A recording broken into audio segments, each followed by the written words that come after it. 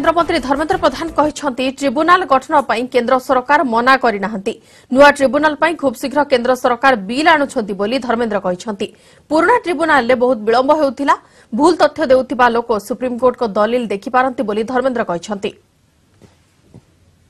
ନିଜର ଅଜ୍ଞାନତା କାରଣରୁ କିମ୍ବା ରାଜନୈତିକ ଉଦ୍ଦେଶ୍ୟରେ ଇଏ କଥାକୁ ଅପପ୍ରଚାର କରୁଛନ୍ତି ଯେ କେନ୍ଦ୍ର ସରକାର ଟ୍ରିବ୍ୟୁନାଲକୁ ରିଜେକ୍ଟ କଲା ये बिल्कुल भूल तथ्य सुप्रीमकोर्टे से विषय को राज्य सरकार दलिल देकी तर्क कर करिपारती जो ट्रिब्यूनाल भारत सरकार जो नुआ ट्रिब्यूनाल मेकानिजम ये भितर आणुंट तार निर्दिष्ट समय सीमा भितर या विचार को समाप्त करार प्रतबद्धता से भितर अच्छी तीन वर्ष भितर ये बद समाधान हम এইটা ଓଡ଼ିଶା ସ୍ୱାର୍ଥରେ ଯିବ ତାତ୍କାଳିକ ଭାବେ ମୁଣ୍ଡରୁ ଦୋଷ ଛଡ଼େଇବା ପାଇଁ ଟ୍ରିବ୍ୟୁନାଲର ବାହାନା ନିଆଯାଇପାରେ ମୋର ଆଗରୁ ବି ମତ ଥିଲା ଏବେ ବି ମତ ଅଛି ଆପୋଷ ଆଲୋଚନା ହିଁ ଗୋଟିଏ ବଡ଼ ମାଧ୍ୟମ